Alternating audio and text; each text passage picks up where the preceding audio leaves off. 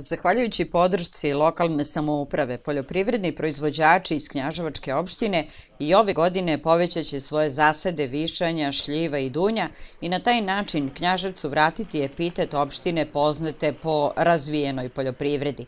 Najveće interesovanje voćara i ove godine vladalo je za sadnice višanja. Ove godine biće podeljeno oko 250.000 sadnica ovog voća. Ovo će biti na nekoj površini između 40 kusurari. Koliko je sadnica, pravo kažem, ne znam, još nisam ovo ni pročitao. Inače, prvi put uzimam sadnice. Mislim da je akcija super i ovo je jedini način da se možda dobiju kvalitetni materijal za, za sadnju. Imamo višnje, ali negde oko 40-50 stara i sad ima da ovo što smo sad uzeli, negde 350 komada zasadimo i još ćemo zasaditi ovo mislim imamo upisano ovde dunju i šljivu. Zadovoljni smo, mislim i to je puno mislim, pomoć nama. U opštinskom agrarnom fondu dobro su se organizovali, pa raspodela sadnica protiče bez zastoja.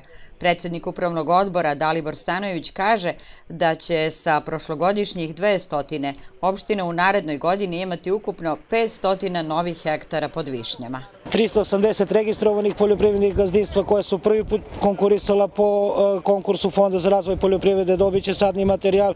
Radimo na tome i uskoro bit će informacije za one koji su po drugi put, odnosno ponovo konkurisali, e, bit će obezbeđen sadni materijal i za njih.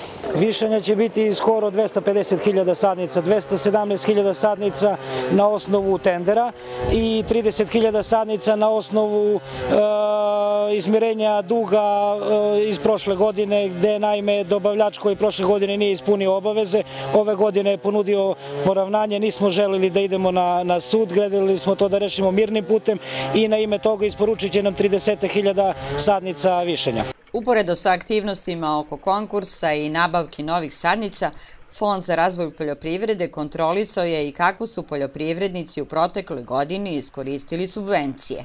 Mi smo u toku leta 2013. godine obišli sve korisnike subvencije iz prethodne godine. E, ustanovljeno je da je preko 95% korisnika ispunilo obaveze, neki zbog vremenskih uslova, zbog e, isplaćivanja subvencija, ne dodele sadnog materijala, nisu uspeli da posade.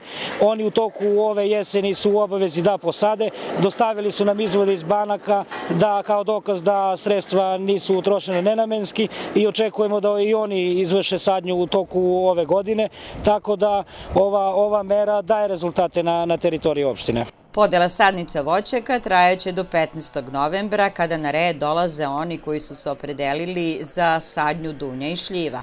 Sadnice su javnom nabavkom obezbeđene u preduzeću koje se bavi proizvodnjom rasada Agroplod iz Lazarevca kod Kruševca.